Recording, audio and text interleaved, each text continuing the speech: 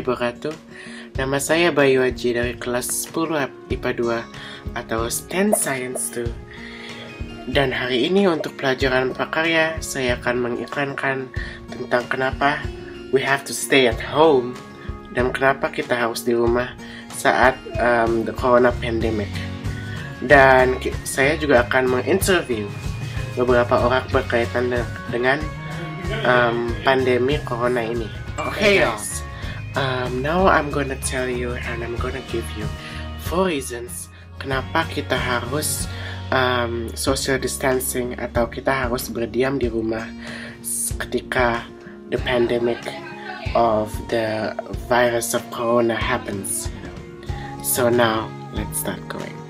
These are the four reasons. Nomor satu, Berdiam di rumah bisa meredam penyebaran virus corona atau yang disebut dengan COVID-19. Bagaimana caranya?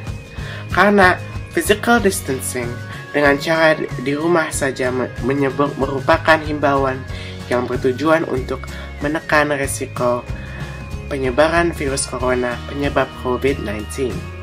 Hal itu dikarenakan virus corona bisa menular dengan droplets yang tidak disadari bisa dikeluarkan oleh orang lain sekitar.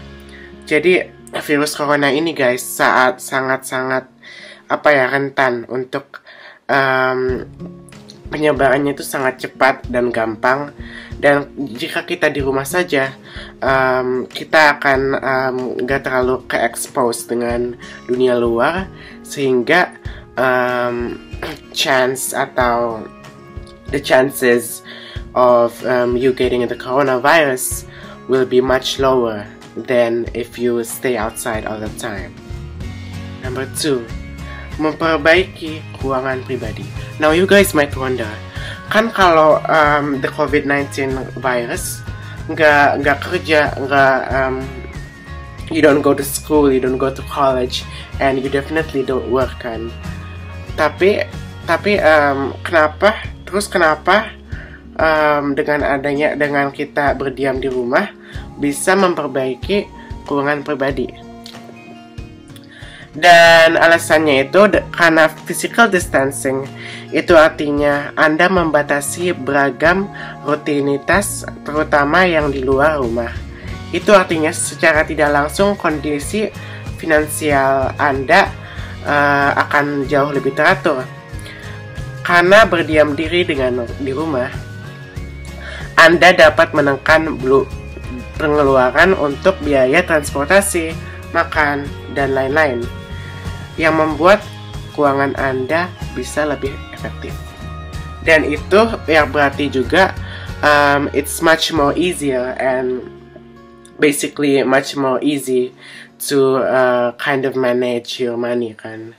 Jadi um, dengan caranya kita uh, berdiam di rumah, kalian bisa give time to think dan kalian bisa manage your money a bit more gitu. Number three, mengurangi polusi. Anjuran di rumah saja yang ramai disuarakan di media sosial membuat banyak orang menghindari berkegiatan di luar. Hal itu tersebut secara tidak langsung mempengaruhi kepadatan lalu lintas yang biasanya kerap kita jalanan. And that reduces the pollution because there is no um, carbon dioxide being used and you know in the cars, in the gasoline. Number four, which is the last one, memiliki waktu lebih dengan orang yang terdekat. Physical distancing dengan cara di rumah membuat Anda memiliki banyak waktu bersama orang terdekat, terutama keluarga. Hal tersebut bisa menjadi momen yang tepat untuk mengisi waktu luang dengan anggota keluarga. Anda dapat melakukan berbagai kegiatan positif bersama keluarga seperti melakukan olahraga bersama, makan-makan bersama, hingga membersihkan perabot rumah bersama.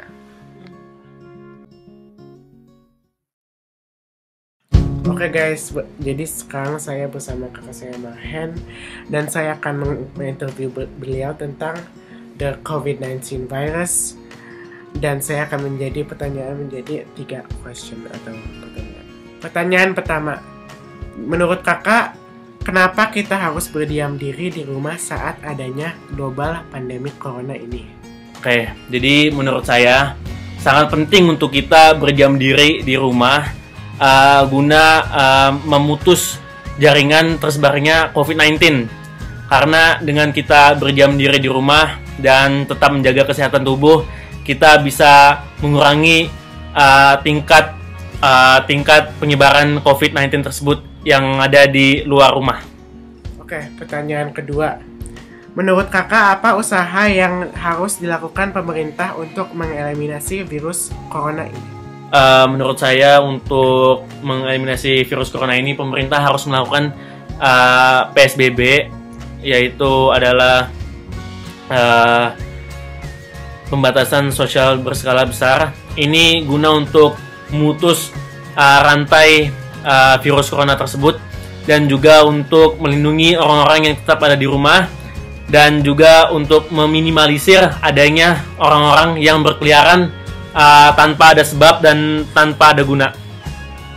Oke, pertanyaan ketiga, the last one. Menurut kakak, apa tugas-tugas guru-guru dan pelajar di sekolah-sekolah untuk melawan pandemi virus corona ini? Uh, mungkin guru-guru itu bisa mengajarkan atau uh, memberi peringatan kepada siswa dan muridnya untuk bagaimana caranya menjaga diri kalian dan apa saja yang bisa dilakukan selama kalian di rumah agar tidak bosan untuk pergi keluar. Dan juga uh, kalian untuk murid-murid juga bisa melakukan um, adanya apa namanya kegiatan aktivitas di rumah untuk menjaga kalian tetap sehat dan juga kalian bisa memberikan uh, bantuan tentunya kepada orang-orang yang masih bekerja seperti uh, suster dan juga perawat-perawat dan juga ojek online dan juga uh, bisa menyebarkan uh, ilmu yang telah kalian pelajari uh, guna untuk memutus rantai virus corona ini. Oke, baik kakak. Terima kasih atas jawabannya yang sangat bermanfaat. Mari kita berdoa agar pandemi ini segera berakhir